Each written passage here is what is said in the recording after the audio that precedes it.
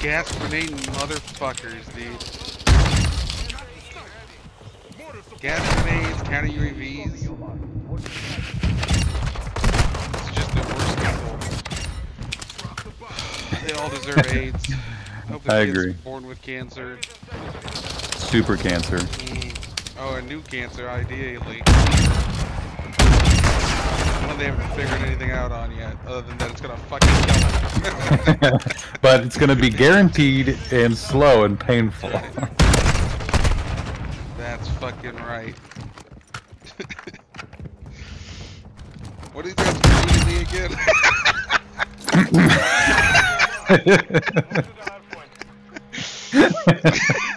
That's besides the point.